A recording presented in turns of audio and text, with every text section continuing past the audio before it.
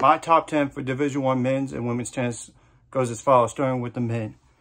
TCU at 1, Ohio State 2, Florida 3, Baylor 4, Tennessee 5, Michigan 6, Virginia 7, Wake Forest 8, Kentucky 9, South Carolina 10.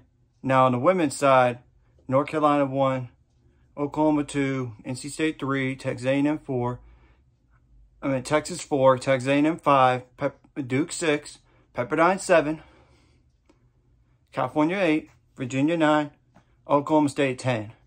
Now, there is a new set of computer rankings on the men's side. TCU at 1, Ohio State 2, Florida 3, Baylor 4, Tennessee 5, Virginia 6, Wake Forest 7, Michigan 8, South Carolina 9, Kentucky 10. But teams on the outside like Georgia and uh, Texas, a USC, a Harvard. Now, on the women's side, North Carolina is obviously number one. Granted, they lost the first time in four years in the regular season.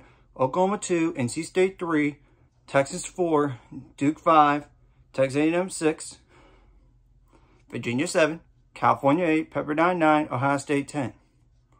So I could really see why on Ohio State for sure. Teams on the outside like Oklahoma State, Auburn, Miami, Georgia. Well, I tell you what, there are some bubble teams that I want to address. Now, on the men's side, the first four in would be LSU, Florida Atlantic, UCF would be in, but the problem is they're ineligible because of the five sub 500 rule. So they're automatically out, which and the next team behind them is UCLA. But the problem with the UCLA is they're, I mean, below that cut line. They're too low. So Charlotte would be the next team, I would say, to get in. A Penn is another one of those teams. UCLA is 9 and 11, so they have to win at least a few uh, Pac-12 matches just to even think about getting in. But the problem is, I don't know if they're going to, if they win Pac-12 tournament like UCF does, if they do, they're going to get in regardless. Teams on the outside like UCLA, Charlotte, Oregon, Vanderbilt, California. That's the problem for those teams. You have to just win to get in.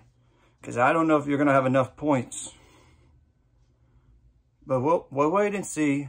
And now, on the women's side, there is nobody a sub 500 rule of, like on the cut line.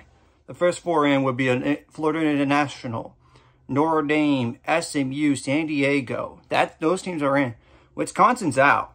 Ole Miss is out. Illinois is out. Arizona's out. Princeton if they win the pack, I mean, the Ivy League, they're going to get in, I believe.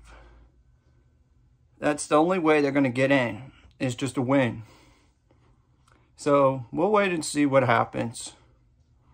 I just want to give some, like, first four in, four, last four out deal, besides my top 10 and a new computer rankings. Anyways, if you like this content, hit the like and subscribe button. I'll see you guys later. Let's get me up to 400 subscribers or more by the end of this year.